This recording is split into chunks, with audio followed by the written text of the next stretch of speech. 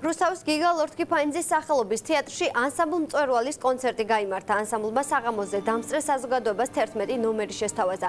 როგორც ანსამბლის ხელმძღვანელმა განმარტა, კონცერტი ერთგვარი შეჯამება იყო 14 წლიანი მუშაობის. დღევანდელ კონცერტს ქვემოქართლის გუბერნატორის მოადგილე ნუგზარ სალია ესწრებოდა. მნიშვნელოვანია რომ ქორეგრაფიას განავითარებენ და აცნობენ თავიანთ მოღვაწეობას ხალხს მიულოცო მინდა დღევანდელი კონცერტი მათ ხელმძღვანელებს რომლებსაც დიდი დამსახურება და ძირწვილი მოუწვის და აი ამ ახალგაზრდა თაობას ამ ახალ თაობას ბავშვებს რომლებიც ამ ქორეგრაფიულ ჯგუფში არიან გაერთიანებული ყავს ცოცხალი ბენდი რასაც აი ძალიან ბევრი მუსიკოსია ჩვენთან და ეს მუსიკოსები ცოცხალი შესრულებით გვთავაზობენ თავის თავის თავის მუსიკას